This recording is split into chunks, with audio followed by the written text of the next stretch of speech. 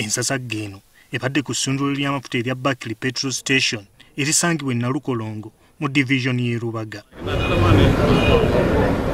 Eyeekubye amasasi agamujje mu budde ye ambrose oyugi abadde omutuuze mutundwe kirinnya bigo ng'abadde akolera mu kampuni enkuumi eya sga bino byonna bibaddewo ssaawa kkumi n'emu nga bukya olwaleero bw'akozesezza mmundu ye ne yettira mu konteyina eri mu kifo kino ekozesebwa abakuumawo. Around 5 there 5 515 there when i had the bullet. So i didn't know where it was exactly.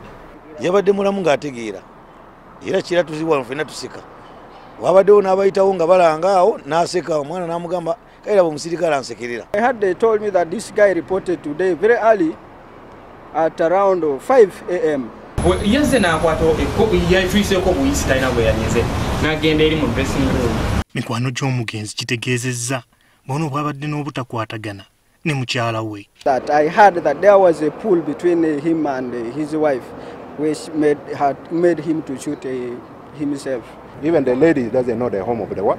The man. So they, they connected, then the lady come up to Kampala. He's the one who can re- re- pick the lady from the bus park. Now from there, uh, they stay they stay like one week there. Then they start hmm, quarreling about quarreling their, their house, start fighting around their, their, their, their home.